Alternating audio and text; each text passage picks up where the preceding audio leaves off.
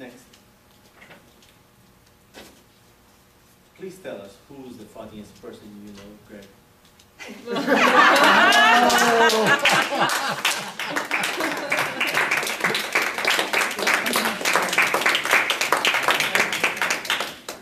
Funniest person I know. If this would be real life, technically I could say that nothing spells success like success. Therefore, the person who I knew who made the most money being funny was someone who Renee made reference to earlier in her speech. Because she told us that her all-time favorite holiday movie was Elf. Mm-hmm. And the star of Elf was a kid who was in my eighth grade life science class, first semester, eighth grade, Rancho San Joaquin Middle School, by the name of Will Ferrell.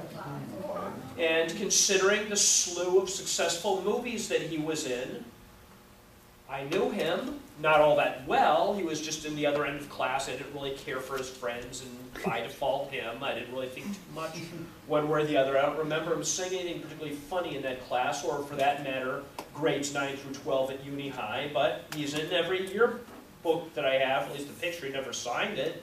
I never signed his, but he made a lot of money being funny, so I have to credit Will Ferrell, a very successful movie actor who has survived from the 90s to today. He's always been a star, Saturday Night Live, movies, you name it, he's done it. He never got into any kind of trouble that I know of, nor did he in school. I can vouch for that, because if he did, I would have known. So therefore, I'd say that Will Ferrell is the funniest person I ever knew.